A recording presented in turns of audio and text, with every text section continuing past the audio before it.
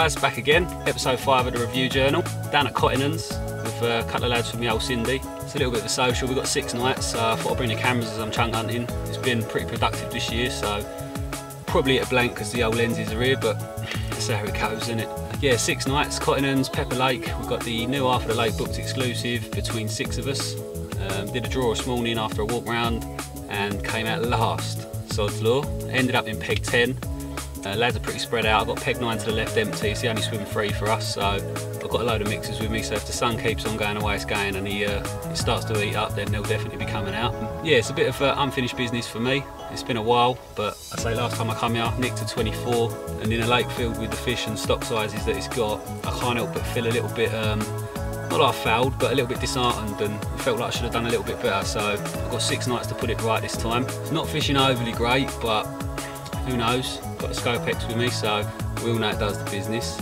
So yeah, just getting in a peg now, just getting set up. Like I say, I'm in no rush, I've got six nights, so just want to be comfortable, get sorted, have a little chill out on the first day. I'm not going to do too much filming today, like I say, I've got six nights. I don't want to turn it into another Gran Canaria special where it's three and a half hours long. So we've got six nights. Yeah, six nights. Cottington's. I've got six nights to put it right. I've got six nights. Why? Yeah, we'll see what happens. Play it by ear. I've already got a, an idea of what I'm going to do and where I'm going to fish. I'm going to have a little lead around now, see what it feels like. Yeah, we'll go from there. So I'll catch up with you later on. Yeah, time to kick back and uh, do my thing.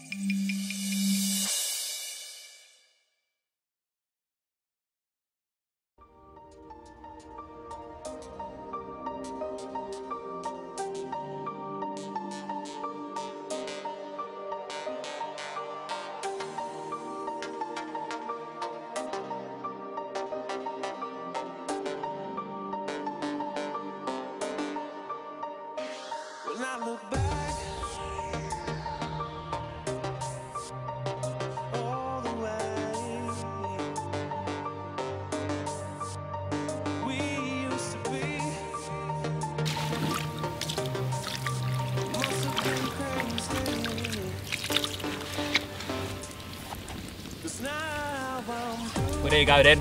Persevered with a floater rod, Zig Bug chub mixer, over riser pellet and slicker floater, did the business. First fish, 29 pound on a button. She's a bit lively, so I'm gonna get some snaps, get her back, and uh, try for another one. Happy days though, we're off the mark early doors. It's all good.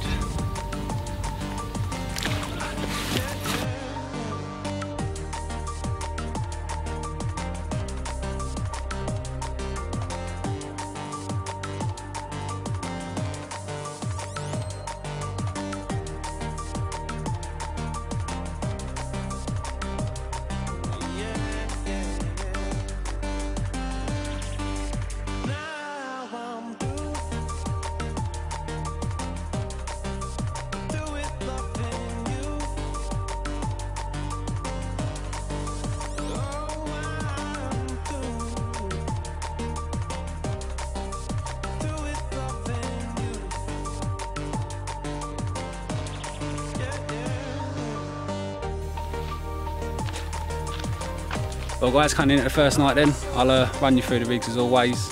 Um, kind of cutting and people say cut the handfuls of weight, don't go over the top, don't fill it in, but what can I say, I filled it in.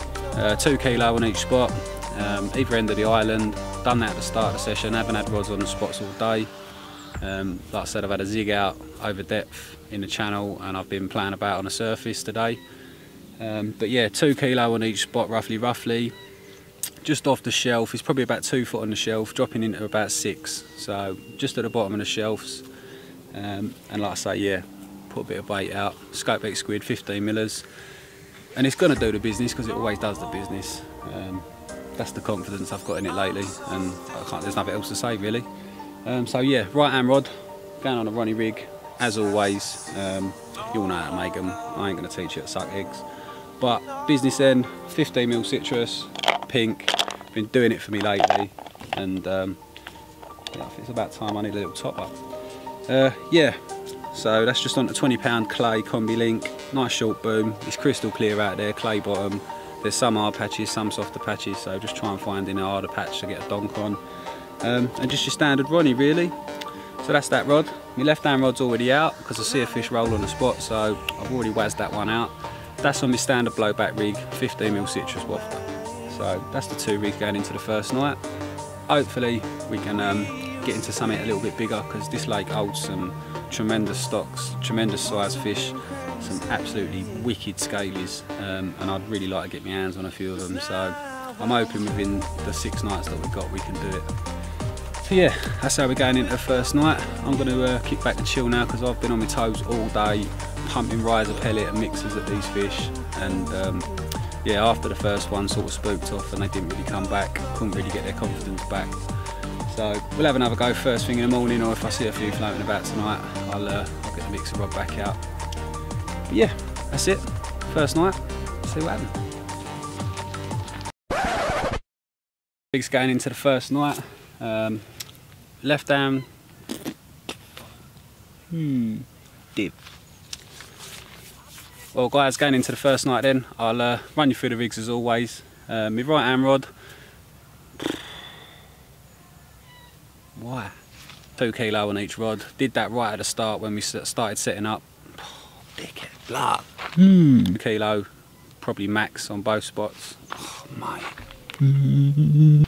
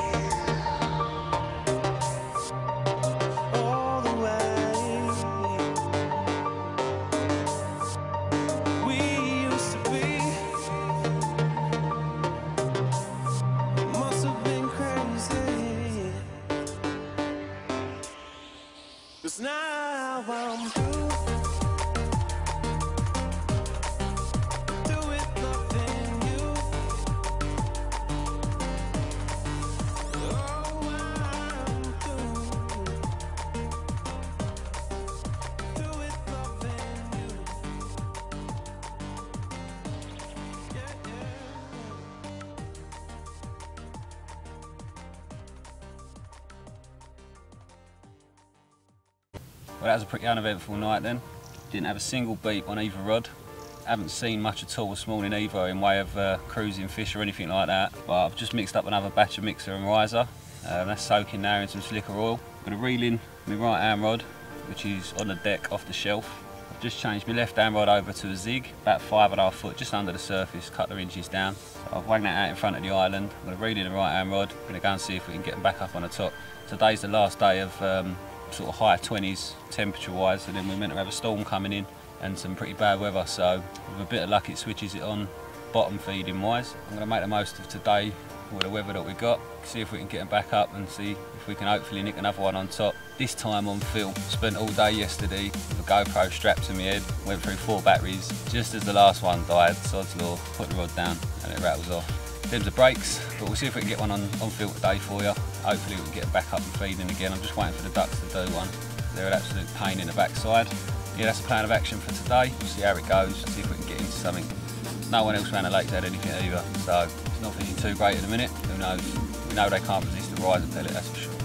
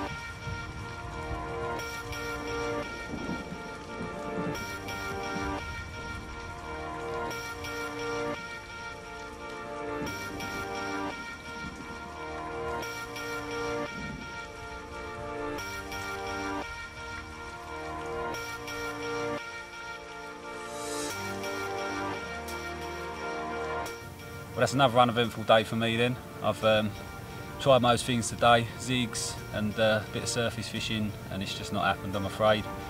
Too hot, and uh, yeah, humidity through the roof, pressure through the roof, and they, they just weren't having it. The ducks absolutely smashed me to bits today, and um, yeah, there's nothing I could do about it.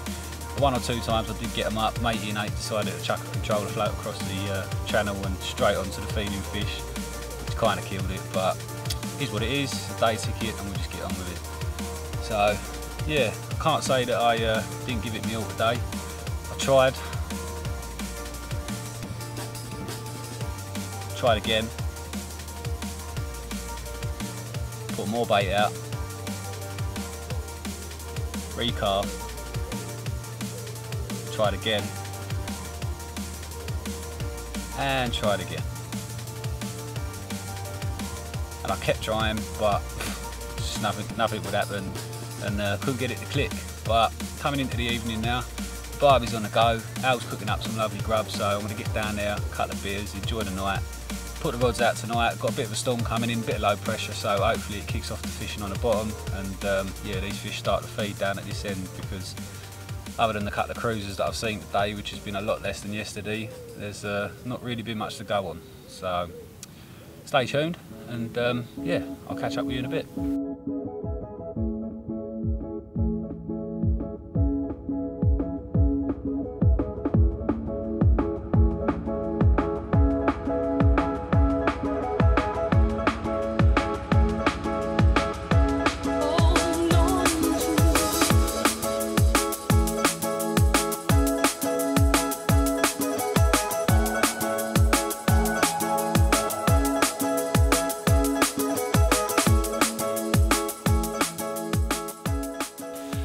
Just as the rain started, left hand rod went off, close to the island as tight as I could get it. 20 pound on the button, just over. White citrus wafter did the business. Again, very lively. So, quick couple of snaps, get her back. Rod's already out on the money. See if we can get another one. Well, weather took a bit of a turn last night. Didn't so much have the thunderstorm that was promised, but we had some heavy rain, that's for sure but it's definitely helped out. Like I say, the fish you see last night from me, the uh, £20 12 common. Um, I think Jay next door to me lost one at about 3 o'clock this morning.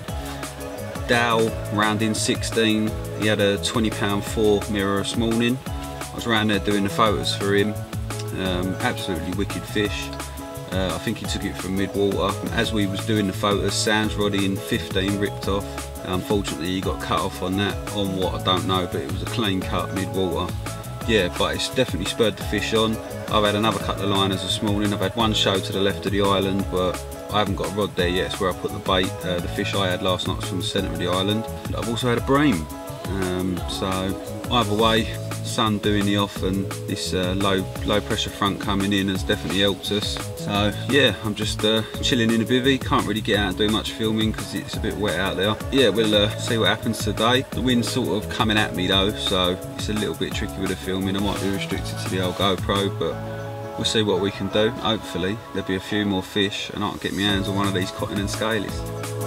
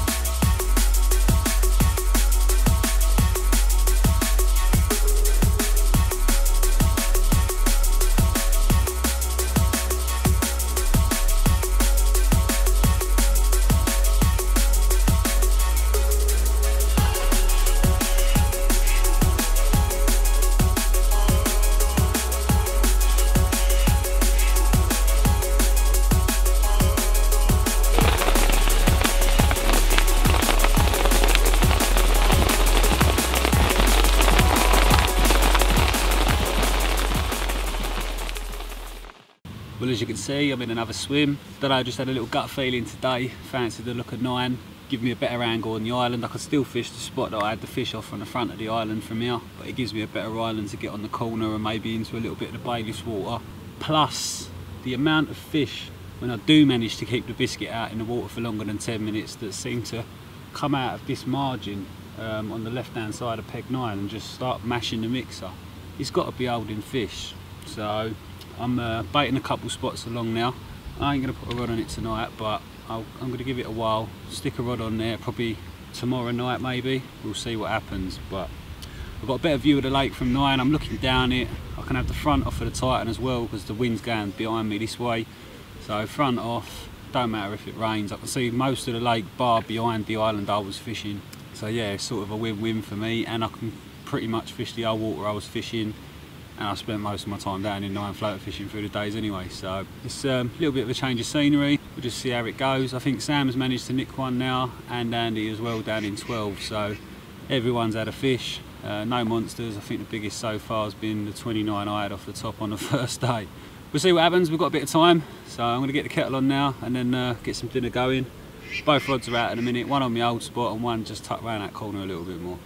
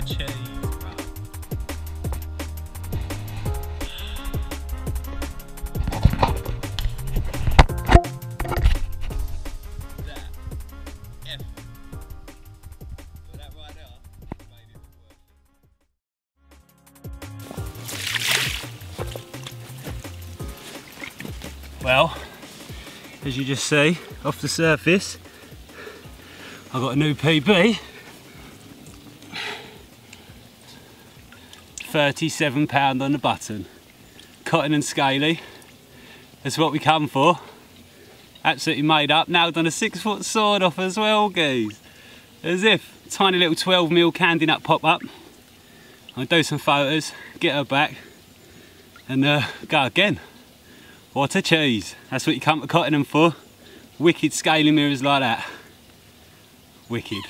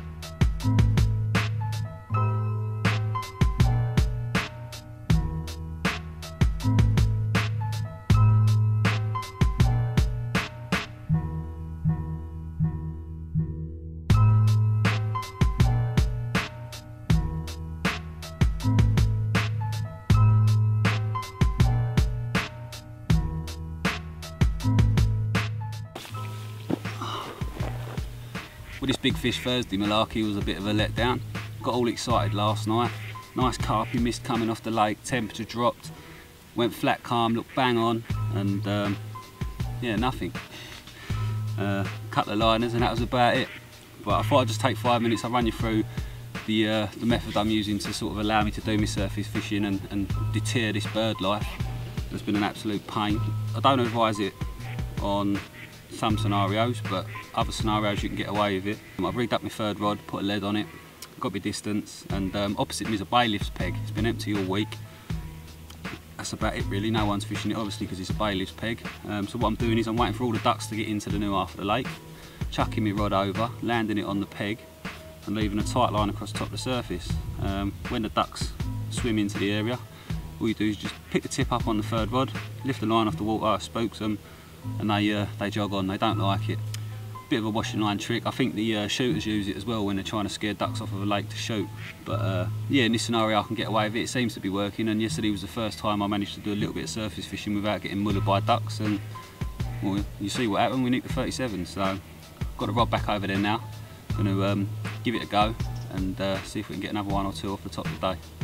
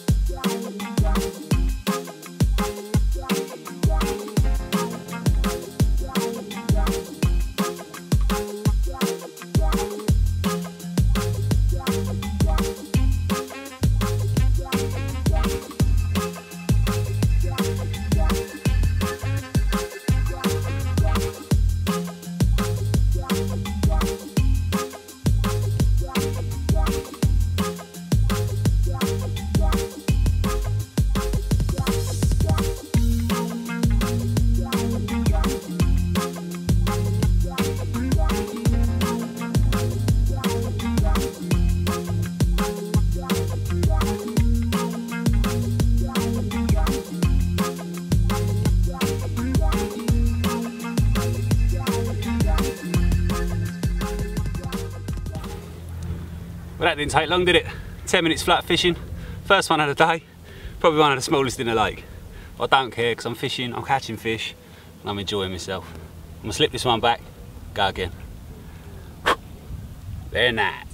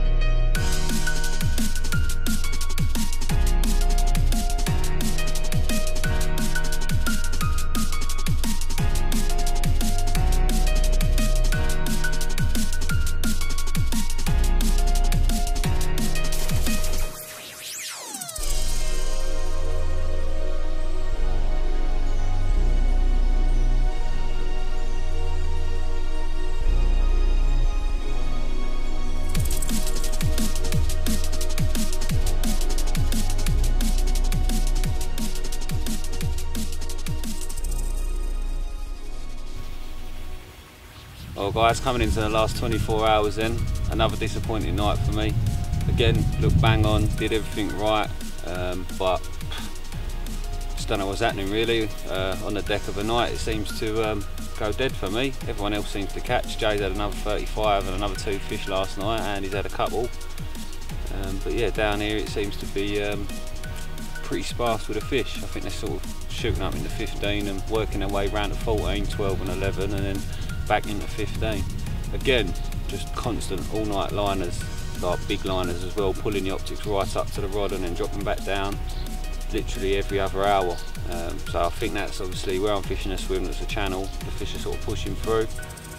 Um, so today I'm going to tie up a couple of zigs um, and I'm going to ping the zigs about all day because I don't seem to be doing much on the bottom on baited spots.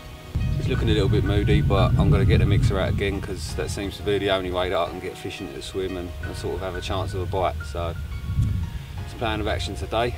Um, I'm going to uh, have a quick cup of tea, get the zigs tied, get the rods out, and then um, yeah, we'll get to work.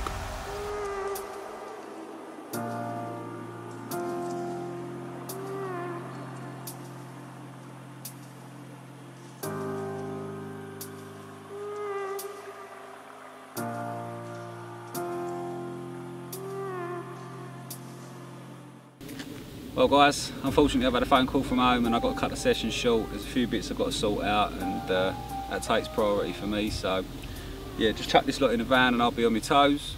Um, today was pretty poor for me. Chucked a couple of zigs about, but other than that, tried getting the mixer out, but the ducks mullered me again. So yeah, that was the end of that for me, I'm afraid. So if you come in here, be warned, the ducks are a proper nuisance. Um, but yeah, overall, four fish on film, broke the filming duct. Don't think it's been uh, well, must have been before October last year, I think, two or three films in now that I ain't caught fish, so I'm happy that I've done that for you.